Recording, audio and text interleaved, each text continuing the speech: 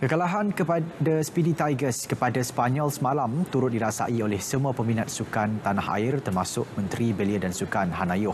Meskipun kecewa, Hana mengakui aksi yang ditampilkan pemain negara semalam amat membanggakan dan mendapat pujian seluruh rakyat Malaysia saya nak ucapkan tahniah juga kepada Speedy Tigers atas uh, performance yang sangat uh, mantap.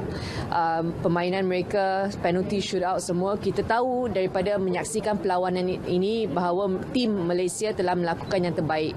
Mereka telah berjuang habis-habisan. Jadi kita sebagai rakyat Malaysia sangat bangga dengan performance mereka. Sementara itu, Presiden Konfederasi Hoki Malaysia MHC, Datuk Seri Subhan Kamal tetap berpuas hati dengan prestasi skuad Speedy Tigers pada kempen Piala Dunia kali ini.